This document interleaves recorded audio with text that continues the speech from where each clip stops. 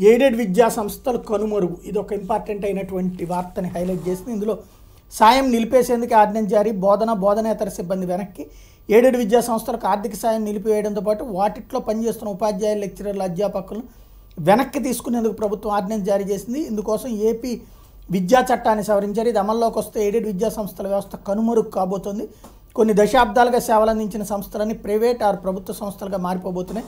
Aided పాఠశాలలు junior degree కళాశాలల యాజమాన్యాలు ఆస్తులతో సహా పూర్తిగా ఇచ్చేస్తే ప్రభుత్వమే స్వాధీనం చేసుకుంటుంది ప్రభుత్వానికి ఇచ్చేందుకు అంగీకరించుకుంటే ప్రైవేట్గా నిర్వహించుకోవాల్సి ఉంటుంది వీటిల్లో పనిచేస్తున్న ప్రభుత్వ అధ్యాపకులు ఉపాధ్యాయులు బోధనేతర సిబ్బందిని ప్రభుత్వం వెనక్కి తీసుకుంటుంది అన్నటువంటి విషయాన్ని ఇక్కడ ప్రధానంగా హైలైట్ చేసినటువంటి పరిస్థితి అయితే ఉంది.